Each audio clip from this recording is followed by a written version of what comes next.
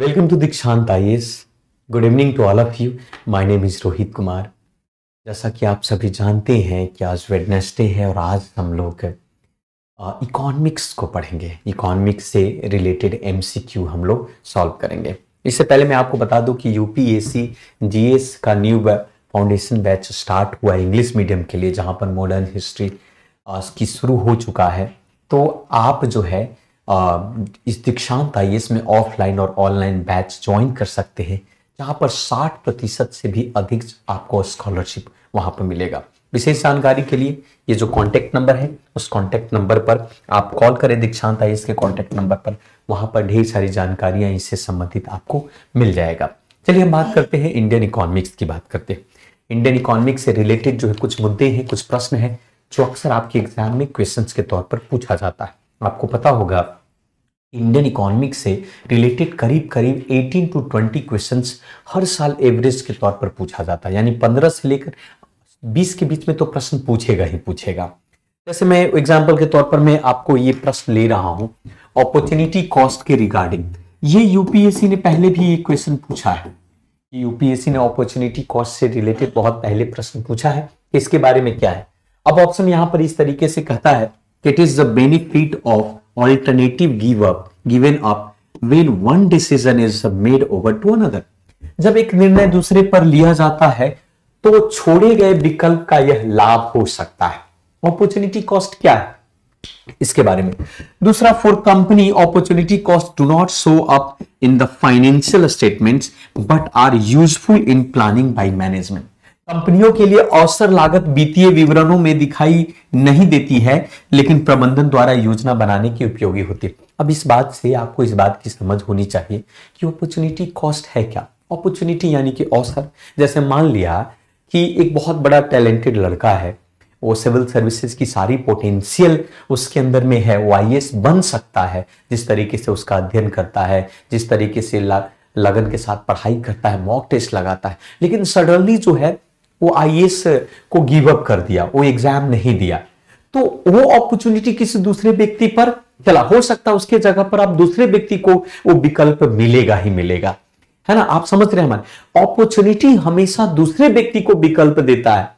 है ना? इस बात को समझना होगा। इसलिए ऑल्टरनेटिव आप कह सकते हैं कि ऑल्टरनेटिव जो है बेनिफिट हो सकता है ऑल्टरनेटिव किसी दूसरे व्यक्ति के तौर पर। जैसे उदाहरण के तौर पर कहा जाता है कि मान लिया कि कोई कंपनी ने यह निर्णय किया कि हम जो मशीन है, हम लीज पर लेते हैं, हम रेंट पर लेते हैं, उसके जगह पर हम उस मशीन को खरीदेंगे। तो क्या हुआ? अपॉर्चुनिटी यहाँ पर चीज़ें बदली। तो इस संदर्भ में इस दोनों स्टेटमेंट जो है अपॉर्चुनिटी कॉस्ट को डिफाइन कर रहा है। तो C is the right answer इसका सी राइट आंसर है। चलिए नेक्स्ट क्वेश्चन की तरफ़ हम लोग चलते हैं है ना? अब नेक्स्ट क्वेश्चन जो है आपका इसका संबंध आरबीआई से है। मैं आपको एक चीज़ बता देता हूँ reserve bank of India RBI define a personal loan के बारे में। Loan given to individual that consist of RBI की परिभाषा के अनुसार व्यक्तिगत ऋण व्यक्तियों को दिए गए ऋण जिनमें शामिल है। अब सवाल यह है कि आरबीआई जो है व्यक्तिगत ऋण की बात कर रही है। आप अपने आसपास के आ, बैंकों से आप लोन ले सकते हैं पर्सनल पर्सनल लोन का मतलब क्या होता? है पर्सनल व्यक्तिगत ऋण का मतलब ये होता है कि वो हर इंडिविजुअल जो है, बैंकों के द्वारा जो है लोन ले सकता है। लोन में यानी कि ऋण, वो चाहे कंज्यूमर क्रेडिट हो सकता है उपभोक्ताओं के लिए क्रेडिट जैसे क्रेडिट कार्ड उड़ आप लोग यूज़ करते हैं, वो भी तो एक लोन ही है। हम अपनी हायर स्टडी के लिए एजुकेशन लोन ले सकते हैं। या फिर कह सकते हैं कि कोई मनी आप कह सकते हैं इमूवेबल एसेट्स में अपना पैसा हमें ज़मीन खरीदनी है या घर खरीदना है, उसके लिए हम लोन ले सकते हैं। जैसे हाउस लोन कर सकते हैं, आप जिसको आप कार लोन कर सकते हैं, जिसको आप किसी पर्टिकुलर अगर इन्वेस्टमेंट करना है, उसके लिए हम लोन ले सकते हैं शेयर ले सकते हैं डिवेंच ये सारे लोन है। तो व्यक्तिगत लोन यहाँ पर ये बातें कर रहा है। लोन क्रिएशंस के लिए एजुकेशन के लिए कंज्यूमर के लिए ये सारे जो है ये ऑप्शन आपके इंडिविजुअल लोन के डेफिनेशन में आता है, यानी डी इज़ राइट आंसर मान लिया आपको हायर स्टडी करना है हायर स्टडी के लिए जाना है तो आपका वो हायर स्टडी के लिए जो लोन लेंगे, वो व्यक्तिगत लोन ही तो होगा, है ना? वो व्यक्तिगत लोन होगा, ठीक है?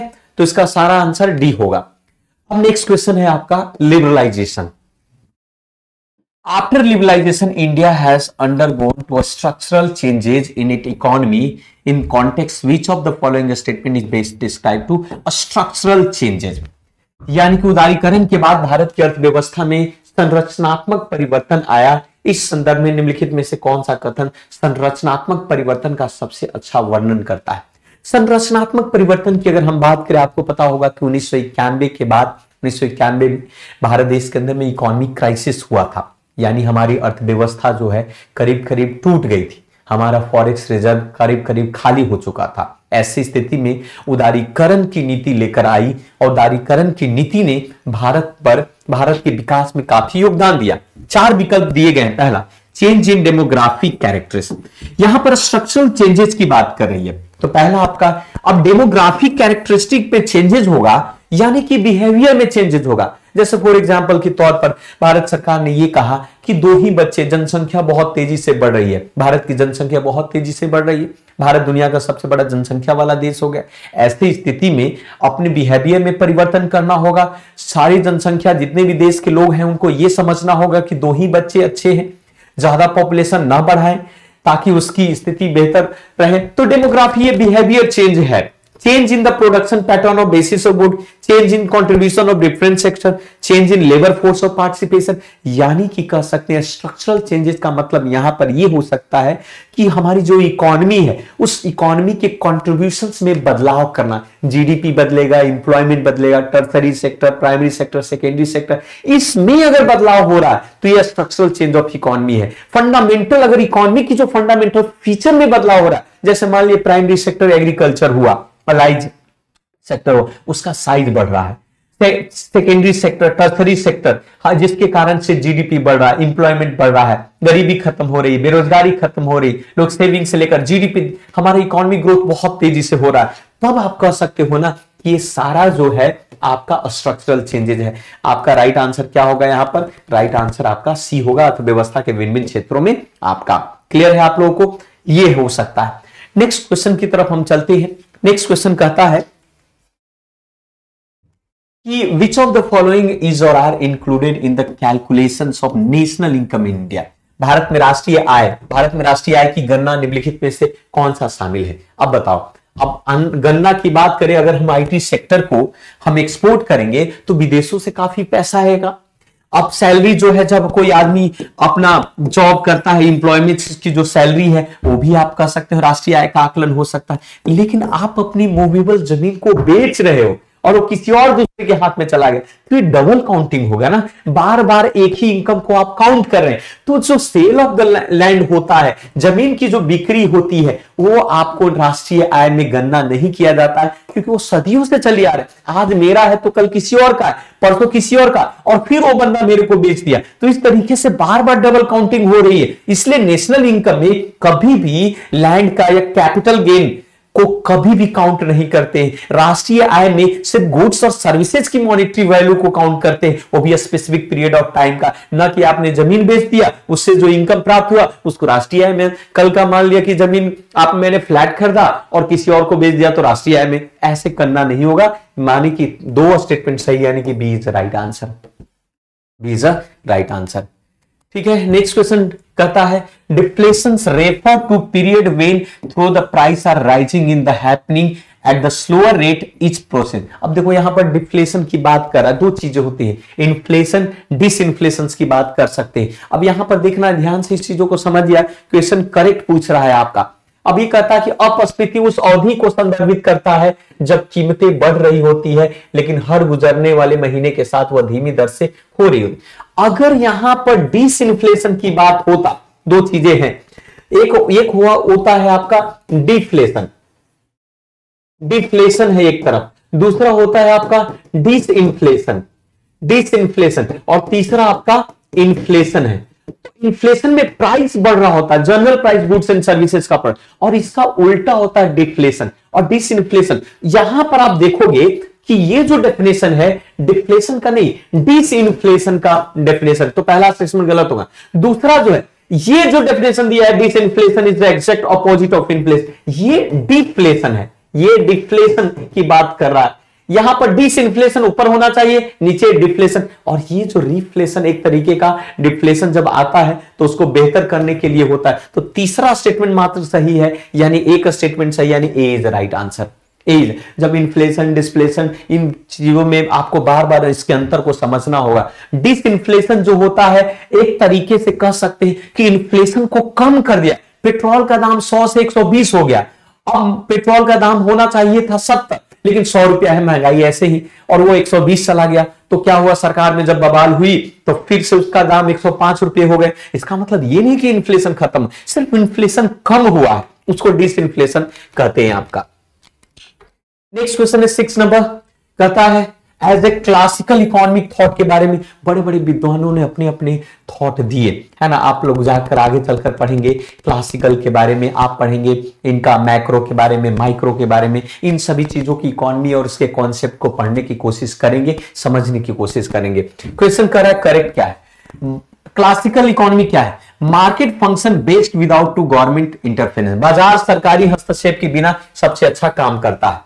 पहला ठीक है। If the buyer and seller in each market take their decision following only their own self interest market will be collapse यदि प्रत्येक बाज़ार में क्रेता और विक्रेता केवल अपने स्वार्थ को ध्यान में रखते हुए अपने निर्णय लेंगे तो बाज़ार ध्वस्त रहेगा। ये बात सही है, ये बात सही है कि यहाँ पर क्लासिकल इकोनॉमिस्ट ये कहा करते थे कि नॉन इंटरफेरेंस यानी कि सरकार का में इंटरफेरेंस नहीं होना चाहिए। गवर्नमेंट इंटरफेयर ना करे। एक तरीके से कैपिटलिज्म के कॉन्सेप्ट को फॉलो करता है। पहला स्टेटमेंट सही है। लेकिन यहाँ पर कहता है कि विक्रेता, यहाँ पर कहता है क्लासिकल इकोनॉमी में, या केनी आप आप कह सकते केनीज इकोनॉमी की बात कर सकते हैं। ये सभी लोग कहते हैं कि गवर्नमेंट का इंटरवेंशन नहीं होना चाहिए।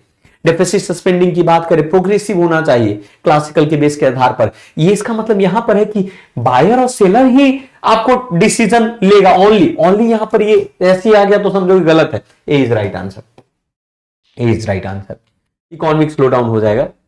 कैसा है।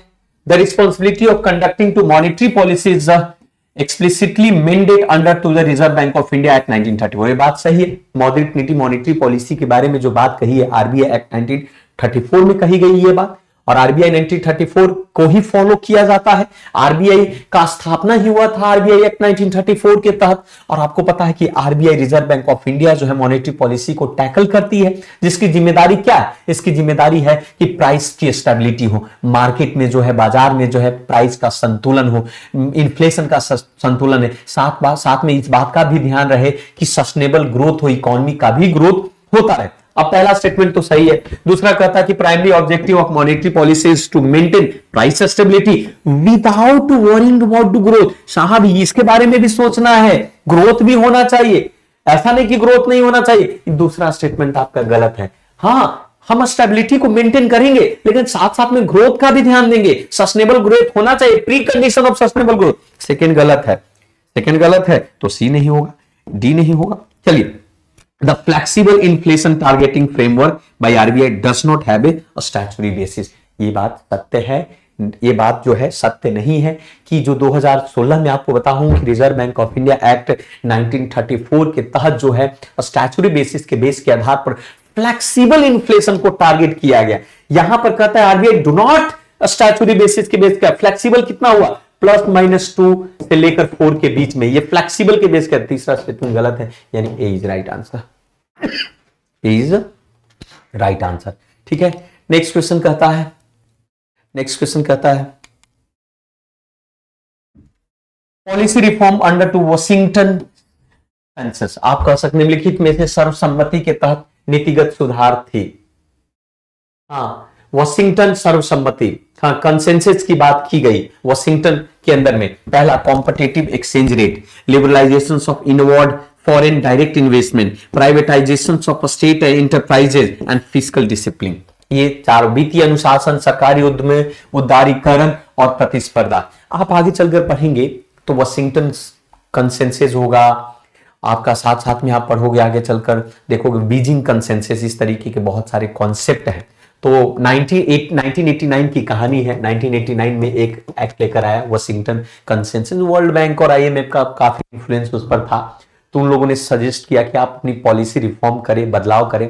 आईएमएफ और वर्ल्ड बैंक दोनों ने मिलाकर इस पर एक थॉट दिया था अपना विचार दिया था और कहा था कि भाई एक्सचेंज रेट हमेशा कॉम्पिटेटिव होना चाहिए ताकि जो है ना मुद्रा जो करेंसी है उसमें फ्लैक्चुएशन हो। फॉरेन डायरेक्ट इन्वेस्टमेंट को लिबरलाइज करो, उदारीकरण करो ताकि लोग इन्वेस्टमेंट करें आपके देश में। है ना? प्राइवेटाइजेशन को भी मौका दो और फ़िज़िकल डिसिप्लिन में ये चारों बातें वहाँ पर कही थी। यानी डी इज़ राइट आंसर इसके अलावा भी बहुत सारी चीज़ें हैं health infrastructure investment tax reform boarding tax basis सब चीज़ों पर उन्होंने बात किया। यानी इकोनॉमी को रिफॉर्म एक तरीके से इसके माध्यम से वॉशिंगटन कंसेंस के माध्यम से किया गया। ये फ्रेम किया गया था आईएमएफ एंड वर्ल्ड बैंक के द्वारा किया गया था। इस बात का ध्यान रहे। ठीक है? नेक्स्ट क्वेश्चन कहता है कंसीडर द फॉलोइंग स्टेटमेंट बहुत है जीडीपी एंड जीएवी मेजर और नेशनल इनकम यानी कि जीडीपी और जीए जो है नेशनल इनकम को मेजर करता है। ये क्वेश्चन है आपका। पहला स्टेटमेंट क्वेश्चन पूछ रहा है correct GDP calculate India national income by adding up all the expenditure in economy GDP अर्थव्यवस्था में होने वाले सभी खर्चों को जोड़कर भारत की राष्ट्रीय आय की गणना करता है। If government earn more from taxes than what it spend on subsidies GVA will be higher than GDP अगर सरकार ने सब्सिडी पर खर्च की, तुलना में करों का अधिक कमाई की तो जीवीए जो है जीडीपी से अधिक होगा। अब देखो, ये स्टेटमेंट है आपका। तीसरा जो स्टेटमेंट है, गलत है कि अगर सरकार जो है अधिक से अधिक अगर टैक्स अर्न करता है तो what it spend of subsidy GVA gross value added जो है जीडीपी से ज़्यादा होगा। तीसरा, दो स्टेटमेंट आपके सही है। दो वेरिएबल्स हैं जीडीपी और जीए दोनों वेरिएबल्स हैं। एक है ग्रॉस डोमेस्टिक प्रोडक्ट प्रोडक्ट और दूसरा जो है ग्रॉस वैल्यू एडेड है। जीडीपी जो है भारतीय राष्ट्रीय आय का आकलन करता है। एक्सपेंडिचर के माध्यम से प्रोडक्शन के माध्यम से इनकम के माध्यम से, सारे नेशनल इनकम में होता है। सप्लाई साइड से लेकर लेकर आप कहें लेकिन वहीं पर हम वैल्यू एडेड की बात करें इकोनॉमी का प्रत्येक सेक्टर की वैल्यू एडेड की बात करें, जहाँ सप्लाई से, यानी प्रोडक्शन की बात कर सकते हैं, उसके आधार पर भी हम लोग आकलन करते हैं। तो जीडीपी जो होता है, जो जीबीए है, उस जीबीए में जो सरकार जो टैक्स अर्न करती है, उसको हम ऐड करते हैं सब्सिडी को घटाते हैं तब जाकर जीडीपी बन। अब इसके अनुसार से अगर मान लिया कि गवर्नमेंट जो है टैक्स बहुत ज़्यादा अर्न कर रही है तो अर्न करनी और सब्सिडी पर खर्चा कर रही है तो जीडीपी और बढ़ेगा नहीं तो GDP will be higher than GBA ये जीडीपी विल बी हाई अगर सक, आप मैंने फॉर्मूला की अगर मैं बात करूँ जीडीपी की फॉर्मूला की बात करो तो जीडीपी इक्वल टू है जीबीए है यानी ग्रॉस वैल्यू एडेड प्लस ये taxes earn by government government के द्वारा जो टैक्स अर्न किया जा रहा है उसको हम उसके अंदर में जोड़ रहे हैं। ले और सब्सिडीज को घटा रहे हैं। तो मान लिया कि ये चीज़ें बढ़ रहा है। अगर ये बढ़ रहा है, इसका मतलब जीडीपी भी बढ़ रहा है। है कि नहीं? जीडीपी मान लिया कि जीबीए हंड्रेड रुपीज़ है, और टैक्स बढ़कर आपको पचास रुपया हो गया, और सब्सिडी दस रुपया हो गया। तो ये कितना हो गया जीडीपी भाई? एक सौ चालीस रुपया जीडीपी हुआ। अब ये पचास से सत्तर हो गया भाई। सत्तर रुपया अगर हुआ तो आप देख सकते हैं इसका कॉस्ट एक सौ साठ तो यहाँ पर जीडीपी क्या हो जाएगा? ग्रेटर देन जीवीए होगा। इस तरीके से हम इस कॉन्सेप्ट को समझ सकते हैं। अब देखिए ना GDP GVA plus tax earn by the government minus subsidy जो सरकार सब्सिडी दे रही उसको घटाएँगे। तो अगर सरकार अधिक से अधिक टैक्स अर्न करेगी और सब्सिडी खर्च करेगी तो जीडीपी जो है जीबीए से ज़्यादा होगा। अगर वो दूसरे तरफ़ हम देखें कि गवर्नमेंट अगर सब्सिडी ज़्यादा प्रोवाइड कर रही है टैक्स कम कर रही है, तब GVA would be higher than GDP इस बात से समझ सकते हैं। तो ये ही इसका कॉन्सेप्ट है कॉन्सेप्ट है। नेक्स्ट कहता है which of the following statement best describe to the hawkish stand in the RBI monetary policy hawkish निम्नलिखित में कौन सा कथन आरबीआई के आक्रामक रूप का सबसे अच्छा वर्णन है? देखो, जब आप इस चीज़ों को पढ़ेंगे, बहुत सारे कॉन्सेप्ट पढ़ेंगे हॉकिस का मतलब यहाँ पर यह होता है कि सेंट्रल बैंक जो है, एक प्रायोरिटी रख रही है इन्फ्लेशन को कम करना चाहती है। और इन्फ्लेशन को कम करने के दौरान में सेंट्रल बैंक चाहेगी कि इंटरेस्ट को बढ़ा दिया जाए ताकि अधिक से अधिक लोग पैसा कम से कम लोग पैसा ले। मनी के सप्लाई को कम करना चाहती है। यानी टाइट मॉनिटरी पॉलिसी लेकर आना चाहती है, जिससे डिमांड कम हो जाए लोगों के अंदर। तो हॉकिस पॉलिसी का मतलब यहाँ पर यही होता है टाइट मॉनिटरी पॉलिसी की बात होती है। टाइट मॉनिटरी पॉलिसी की बात करते हैं। तो RBI top priority to keep the inflation low cut in the interest नहीं इंटरेस्ट कट नहीं करेगा। इंटरेस्ट को बढ़ा देगा। RBI can either cut or increase नहीं कट नहीं करेगा, बढ़ाएगा। RBI prepare to expand the नहीं मनी सप्लाई को कम करना चाहता है। यानी A is right answer A is the right answer तो ये आपके मोस्ट इंपॉर्टेंट है, जिसकी चर्चा हम लोगों ने यहाँ पर की है। क्लियर है आपको? मैं आशा करता हूँ कि आपको समझ में आया होगा ये दस प्रश्न। बाकी, अब मिलते हैं दूसरे वीडियो में। बाकी आपका कर्तव्य है कि इस वीडियो को शेयर करें चैनल को सब्सक्राइब करें बेल आइकन को प्रेस करें नोटिफिकेशन आ इतना तो आप लोग कर ही सकते हैं। इसमें क्या जाता है? लोगों को शेयर करना, दो चार ग्रुप में आप डाल दें, लोगों का भी भला हो जाएगा, है ना?